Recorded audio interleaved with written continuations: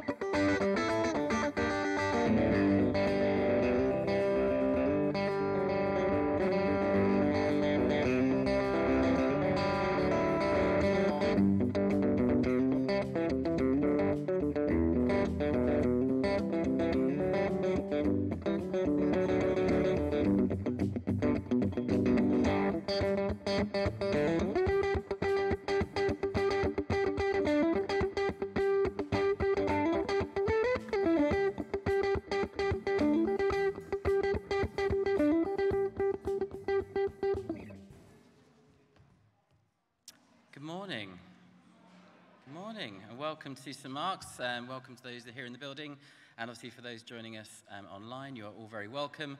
Um, so, a couple of things just to quickly say. So, my name is Luke Prankard. Um, normally, I'm stuck behind the computer at the back of the church, um, broadcasting things, and have done pretty much with a few other people for the last 18 months or so. So, they've decided to finally let me out uh, this side of the camera. Um, and one of the first things I realized uh, as I've stood up here and looking on the screen is that I forgot to iron my polo shirt this morning. So uh, normally when you're behind the camera, it doesn't really matter. So um, uh, anyway, everybody is very welcome um, and uh, thank you for, for joining us and being here this morning. So we will spend some time together in worship um, and we'll be led by Helen um, and the team, and we will also have Elizabeth um, preaching and leading us um, in uh, sharing some of the word uh, with us this morning as well. So uh, before we begin, let us just quickly pray, and then we'll begin with a time of worship. Heavenly Father, we thank you for um, this morning. We thank you for the ability to be here in church in the building together, and uh, and also to be able to share uh, our service with those online as well who are unable to or unable to get here to the building. Lord, we, th- we thank you for this morning and we ask that uh, whatever it is that you want to say to us this morning, whether it's uh, individually to us through whatever Elizabeth shares or through the worship, Lord, that we are open to having our ears open to you and our hearts open to you this morning. So I pray, Lord, that we come in that way to you to spend time with you. Amen. If you'd like to stand for our first song.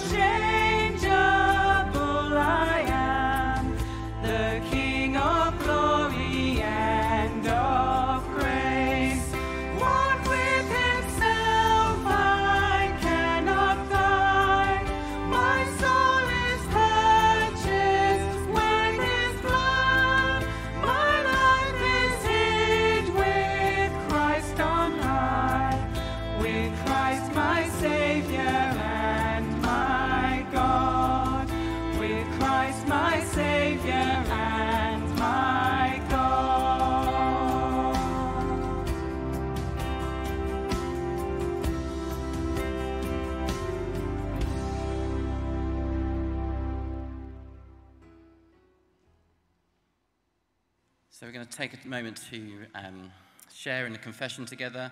Um, and I've used this confession before, um, which is a slightly breathing, meditative uh, type of confession. So the words will come up on the screen, um, and I will share some words for us to then breathe in, and then to hold our breath and pause our breath, and then to breathe out, uh, as I say, the breathing out phrase. So please join with me uh, here in the building and online. So breathe in love. And breathe out hate. Breathe in acceptance. And breathe out separation.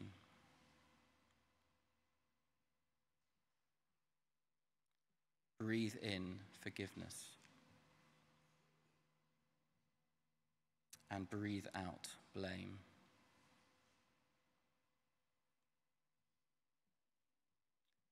Breathe in peace. And breathe out anxiety.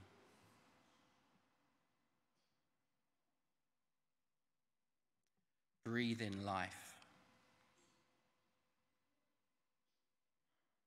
And breathe out death.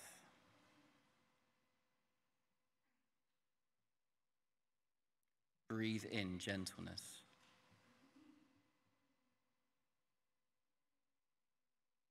And breathe out tension.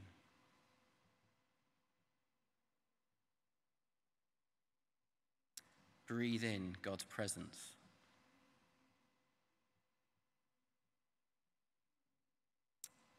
And breathe out. And finally, breathe in God's acceptance and forgiveness. Amen.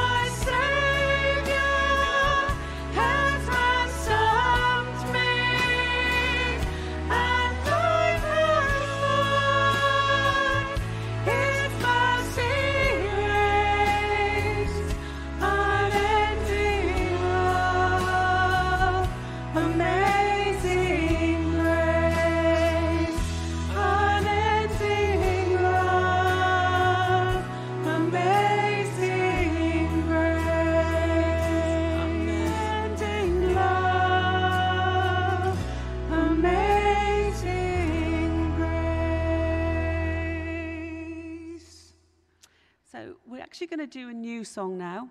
So I'm going to play the, we're going to sing through the first verse and the chorus, and then we'll go back to the beginning again. Um, it is actually a beautiful song, and since I heard it, I just can't stop singing it. It's just, the words are really amazing.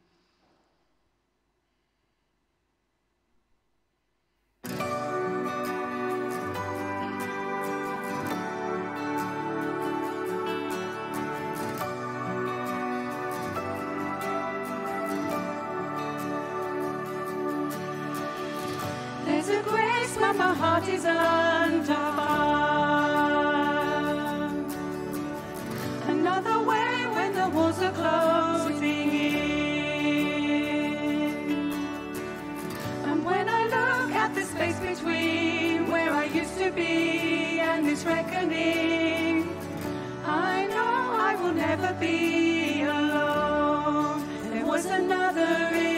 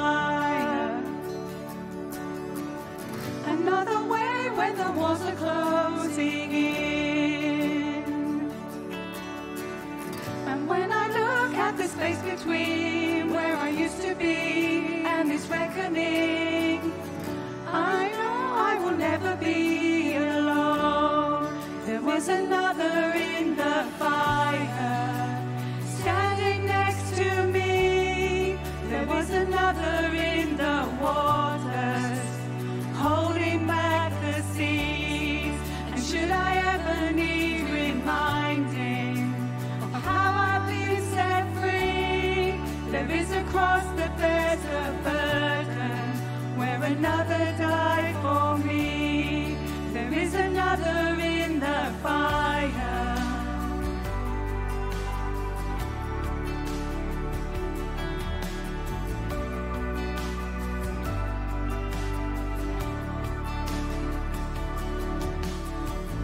Oh, my dead, let the dead beneath.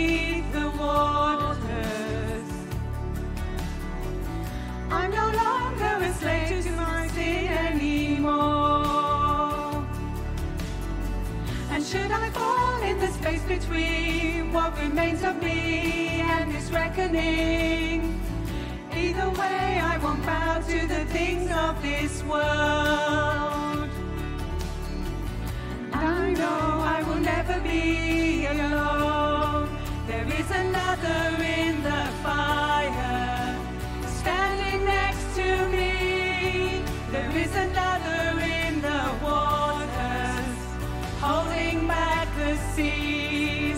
should I ever need reminding, what power set me free? There is a grave that holds no body, and now that power lives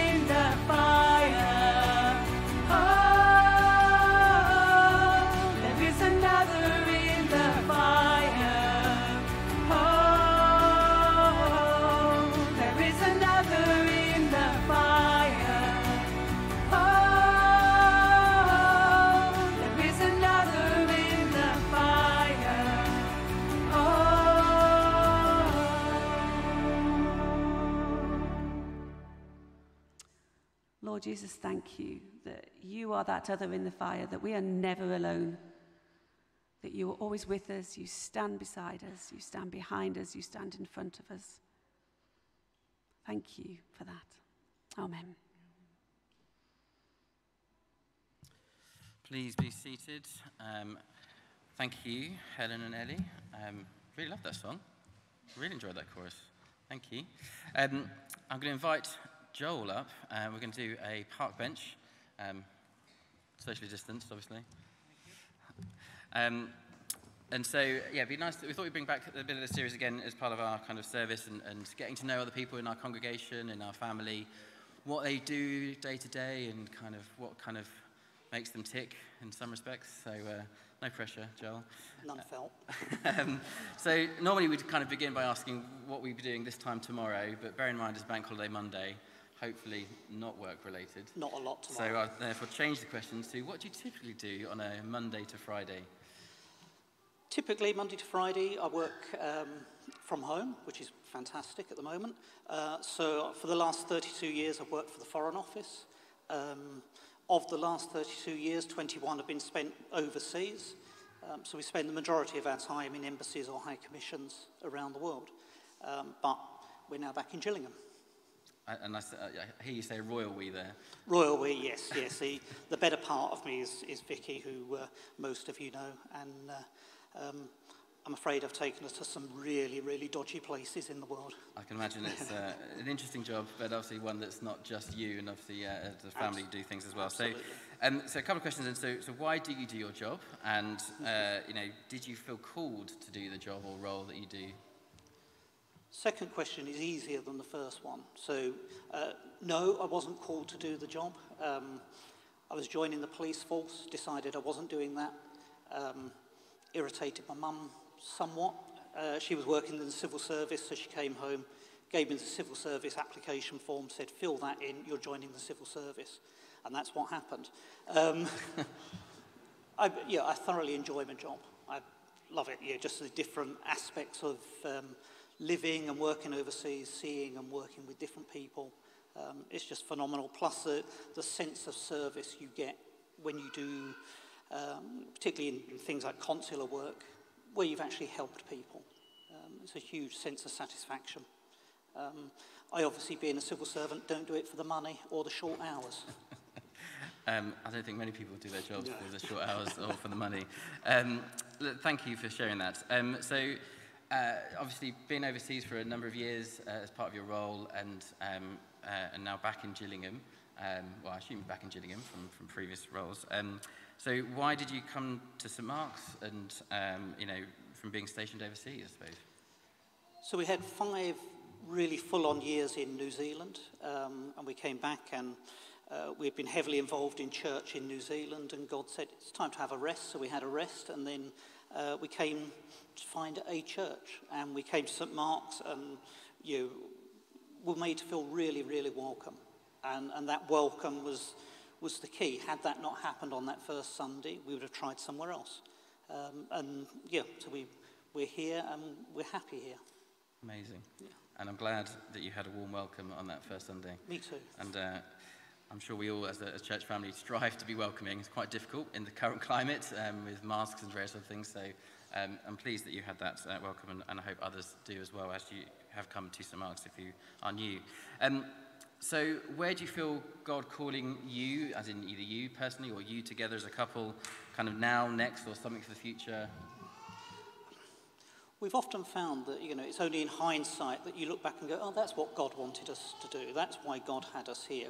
You know, we're not meant to be in the UK at the moment. We're meant to be overseas on a on a posting, but that wasn't God's plan. So, uh, you know, uh, yeah, it, we wait and see. We see what it is that he wants to do. I personally, I don't always feel that you know, there's a, a, a bigger purpose than actually living a good, good life, being a good person, being a good father, being a good parent, uh, being a good partner, just living a good, honest life. I think that's a, a, big enough calling and a big enough challenge for most of us. I, I would say, I think most of us who are fathers and husbands or partners and parents and other kind of roles, uh, we realise that those are pretty full on and demanding. Pretty, so, um, yeah. uh, and very fulfilling as well, or can be fulfilling and frustrating.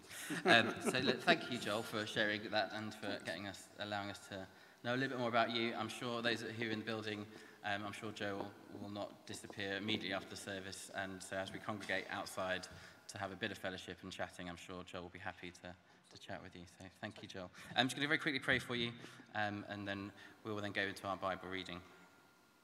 Heavenly Father, we thank you for Joel and for Vicky, um, and thank you, Joel, coming up this morning to share a bit about his um, work and his life and, and what he does, and knowing and realizing that sometimes God's your call uh, is something that we see after the event and not necessarily through it and um, before it. And we thank you, Lord, for, for Joel and what he does and uh, for being a witness in, in everything and all of his life as he shared with us this morning. So, Lord, we thank you for Joel. Amen. Thank you. And uh, we will have our Bible reading that was perfectly timed uh, as will come up now.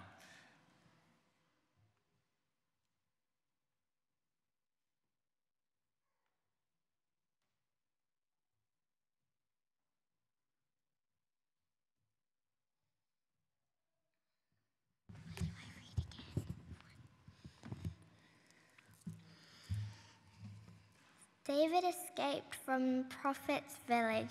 Then he ran to see Jonathan and asked, Why does your father Saul want to kill me? What have I done wrong? My father can't be trying to kill you. He never does anything without telling me about it. Why would he hide this from me? It can't be true. Jonathan, I swear it's true, but your father knows how much you liked me, and he didn't want to break your heart. That's why he didn't tell you. I swear by the living Lord and by your own life that I'm only one step ahead of death. Then Jonathan said, Tell me what to do, and I'll do it. David answered, Tomorrow is the new moon festival, and I'm supposed to, do, to eat dinner with your father, but instead I'll hide in a field until the evening of the next day. If Saul wonders where I am, tell him. David asked me to let him go to his hometown of Bethlehem so he could take part in a sacrifice his family makes there every year. If your father says it's all right, then I'm safe. But if he gets angry, you'll know he wants to harm me. Be kind to me. After all, it was your idea to promise the Lord that we would do that we would always be loyal friends. I've done any if I've done anything wrong, kill me yourself, but don't hand me over to your father. Don't worry, Jonathan. I find out that my father wants to kill you, certainly let you know.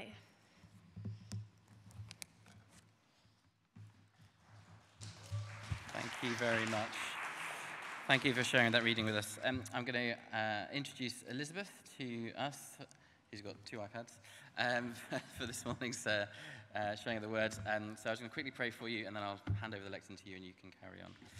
So, Heavenly Father, we thank you for, um, for Elizabeth um, and for um, coming this morning to share the word with us um, that you have put on her heart. And these are your words uh, and not Elizabeth's. And I just thank you, Lord, for uh, her being uh, that vessel this morning to share with us. Amen.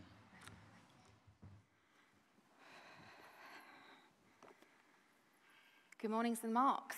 So uh, this makes a change. I normally hide behind the lovely flower arrangement, and uh, today I don't have that ability. Um, my name is Elizabeth Kuperus. My family and I attend St. Mark's. We've been here for almost three years. Um, this is my second time around attending St. Mark's. My husband and I were here in 2009, 2010, but apparently we were so quiet nobody knew us. So, yay, mission accomplished. This time around, I wasn't as successful. I got noticed. And then I started singing in the worship team.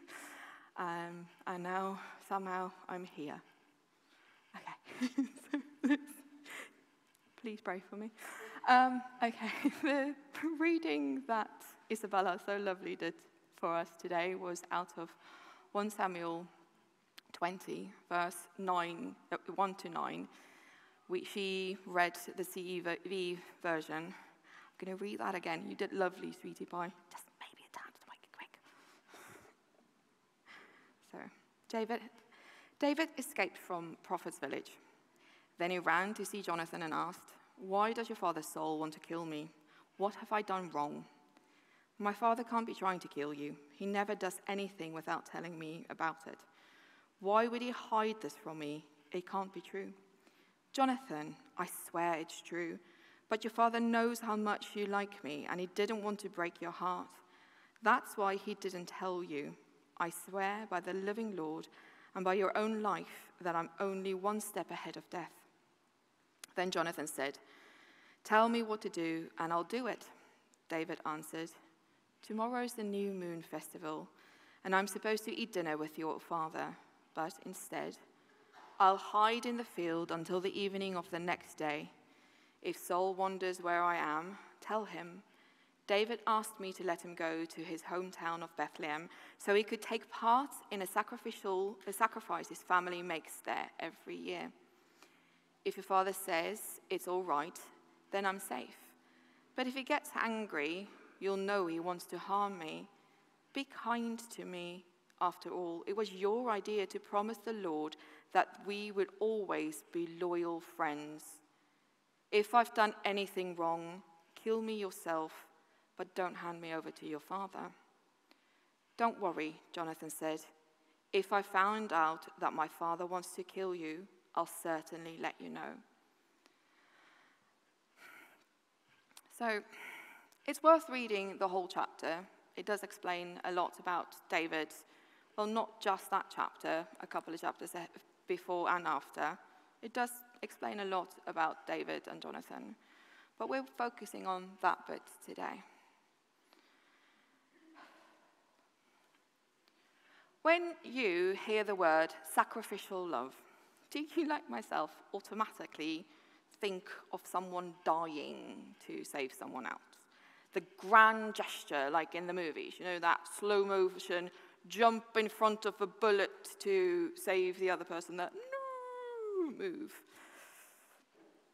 This is not what I mean with uh, sacrificial love in this instance. No, no. Look at Jonathan.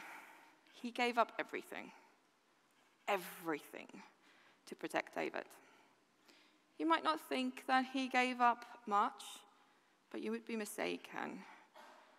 Jonathan would have been king. He was crown prince. And he would have been king of not just any nation, but Israel, God's chosen people. Not only was he the crown prince, but he was also a military leader for King Saul's armies. He would have had the world at his feet, yet he chose to save his friend.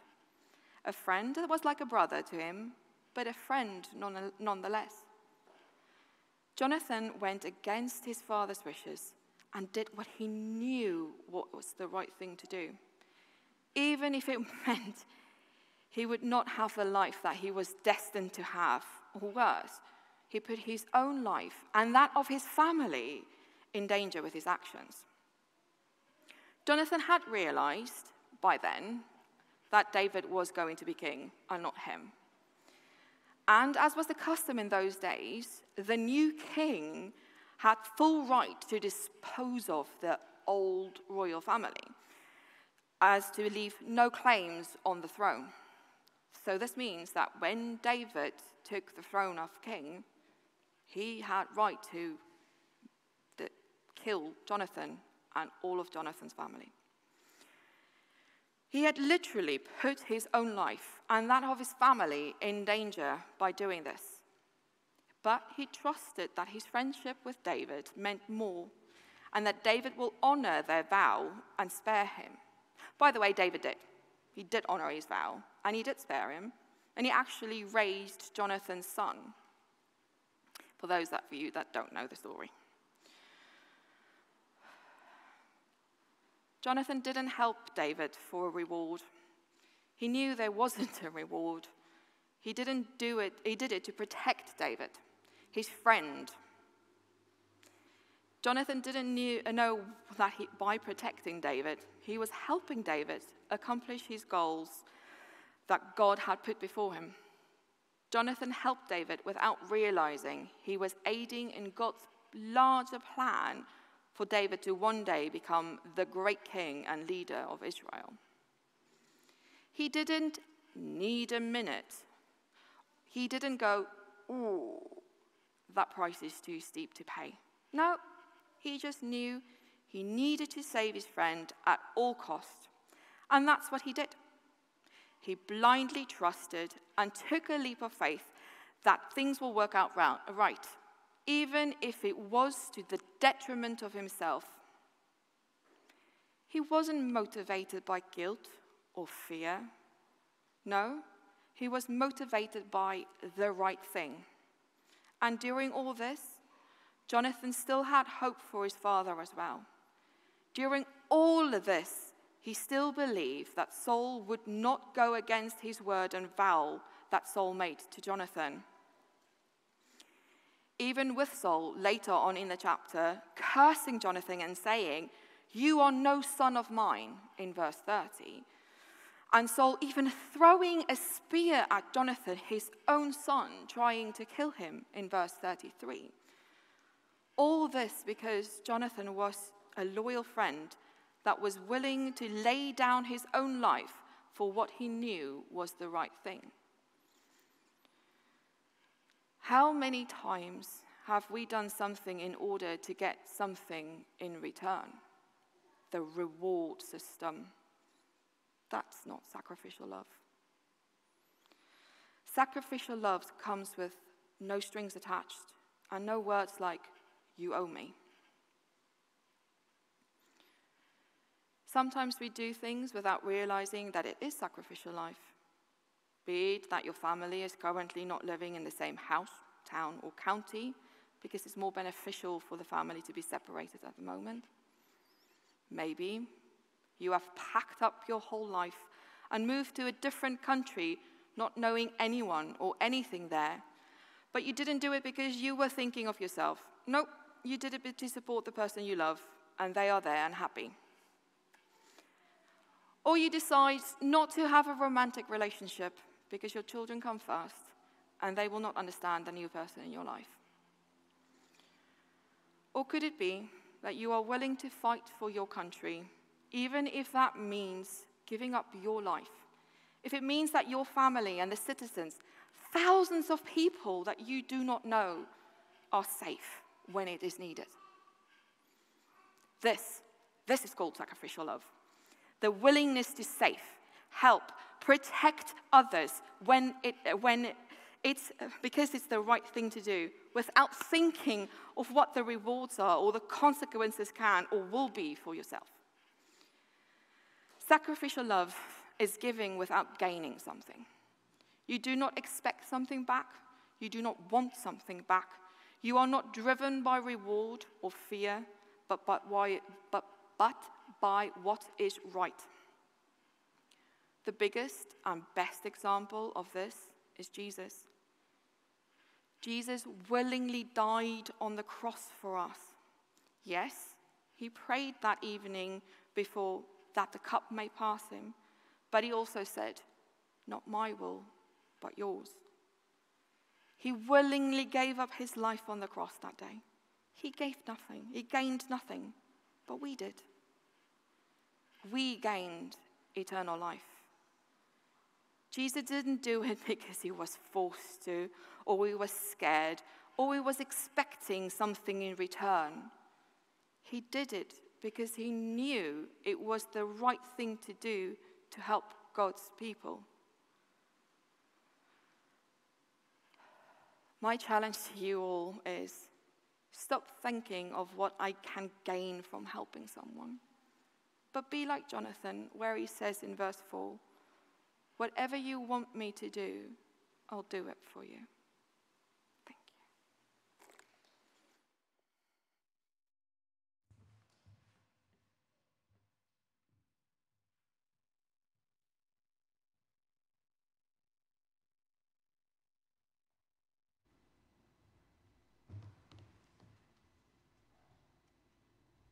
you. Run,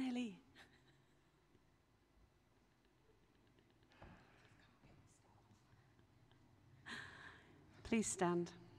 Um, and we'll just um, sing this song. And as you're singing, just think about the words that Elizabeth was saying. How God wants you to be using those words in your life. How He wants you to draw closer to Him through that.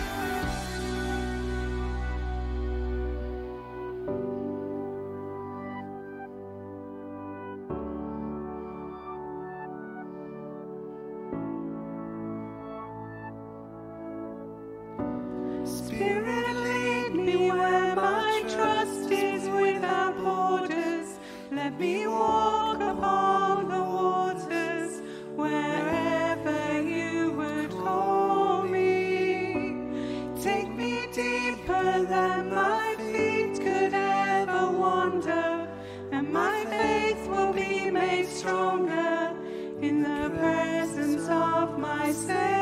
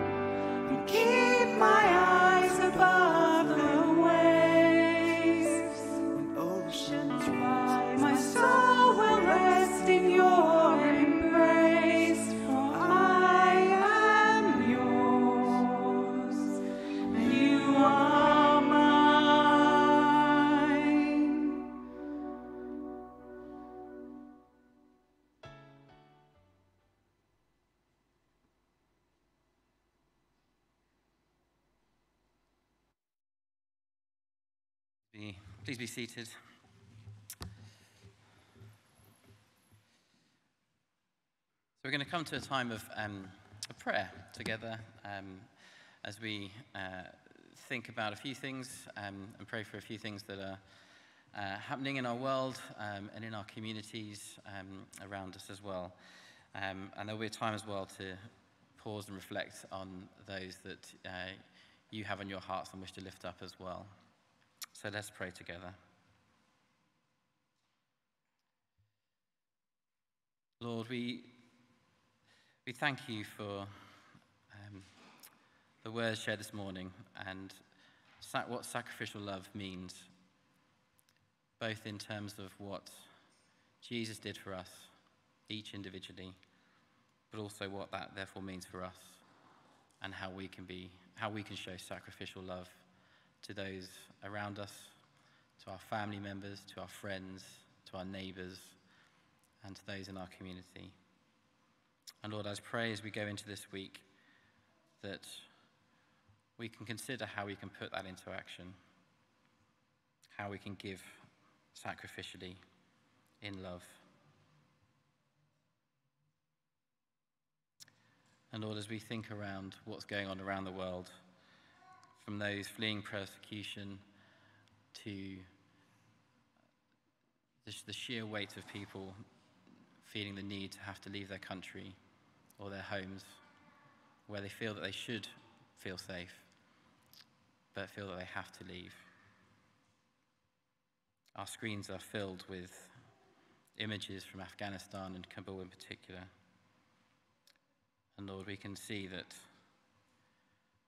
there's a time of, uh, of great unknowing and nervousness, both for those there and for those that have been helping and for those that are seeing it from afar.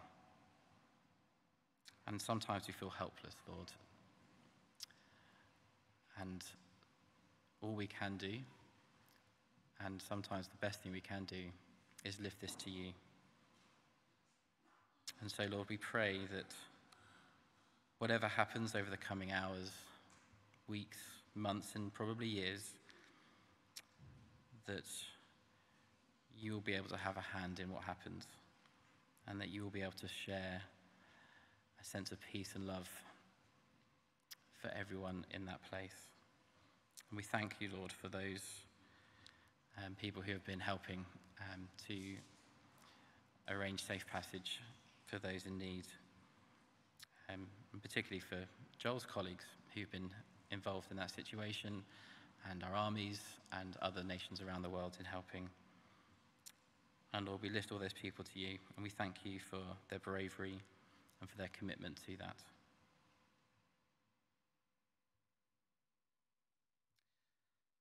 And Lord, we are aware that obviously a lot of people are suffering and dealing with bereavement, both here in our family at St. Mark's and around the world and in our communities and everywhere. And Lord, there's no, it's never easy to deal with.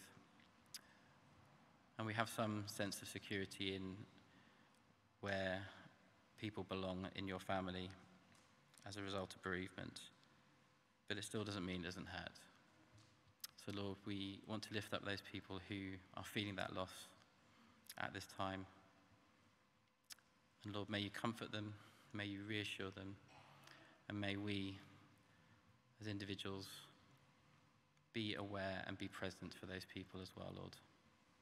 Again, we may not know the right thing to say, but I just pray, Lord, that you'll help us to be mindful and aware of those that are suffering loss and to show that we are there to be able to support and help in any way we can.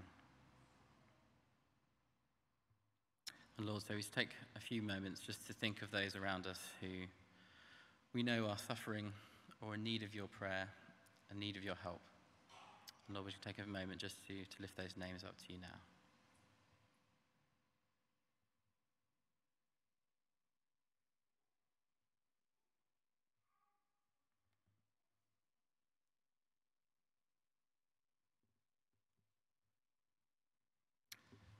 Lord, you know what is on our hearts, and you know the people on our hearts, and we lift those to you, and we know that you hear us. So, Lord, we thank you that you are a God that we can communicate with and that we can listen to and share our, our pains, our thoughts, and our worries. And Lord, we know that you are there listening and are able to take action. Lord, let us know how we can respond to that as well. Amen. So, time for some uh, family news or notices, as a good old Church of England thing we like to do.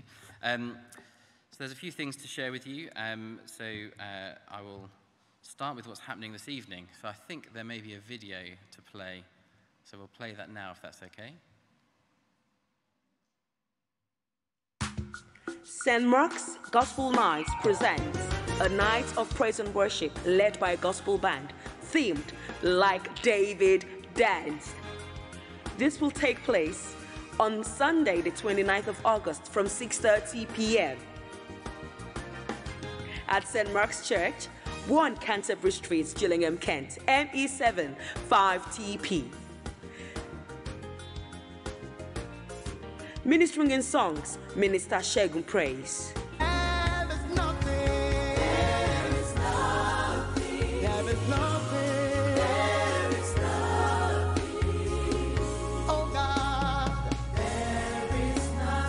Why don't you come with your heart of worship, your dancing shoes, and a grateful heart? And let's give praise to God.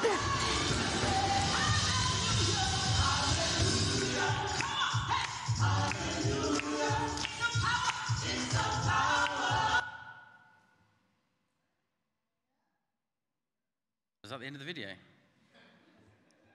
Cool. Uh, sorry. I should watch these things before I uh, introduce them so I know when they finish. Um, Maya will be leading us tonight in our, our gospel evening, um, so uh, please feel free to come along this evening. Um, probably the one time of the month where our sound system in this building really gets pushed uh, to what it can actually do rather than uh, to the level that we have this morning. So um, please feel free to come to that tonight, 6.30 here this evening. A few things, obviously, St. Mark's um, newsletter. So, um, for those of you that um, don't get it, um, there's a lovely weekly email that comes out on a Thursday from the team um, that shares all the news of what's happening around our, our church family. Um, if you don't get it, either go onto the website and you can see it there, there's kind of a link to it. Equally, you could just message the office and they'll add you to the distribution list so it pops into your, your inbox on a Thursday and it's a fairly quick reads just to catch up on what's going on. Um, so things like um, information on the Little Eden Project, Open Church and Craft Club and a few other things that happen kind of during the week so that you're informed. Um, but obviously just one, a couple of other notices. So um, uh, ladies group starts again on the 15th of September, so a couple of Wednesdays away, um, in the morning, 10 till 12, and it'll be at the Old Vicarage. Uh, and I've been informed that croissants will be provided with tea or coffee. Um, so uh, if you're a lady and would like tea or coffee and a croissant on a, on a Wednesday morning, so 15th of September, you are very welcome um, to join the group there. Um, and just a couple of things to share. So Sunday the 19th of September in the evening will be our next baptism service. Um, so if you are uh, interested in being baptized for the first time um, or would like to know more about that, please contact the office. Or equally, um, if you're perhaps interested in doing a baptism renewal, you'd be very welcome to do so as well. So please contact the office. Um, and there is a kind of prep um, session on the 12th of September to attend. But um, please, please get in touch. And finally, there is somebody here who I believe it's their birthday today. Is that correct? Was that nodded head? David Norton? Is it your birthday today? Brilliant. I'm going to be very polite and not ask you how old you are. Um, but uh, it is very welcome to know that it's your birthday today. So many congratulations. Um, and I'm not going to sing because it would be the most embarrassing and excruciating thing, not just for me, but for you personally, David, if you're here to hear me sing. So, um, uh, but very, very happy returns today. Um, so we are going to uh, sing our final song, and then we will finish our service shortly thereafter.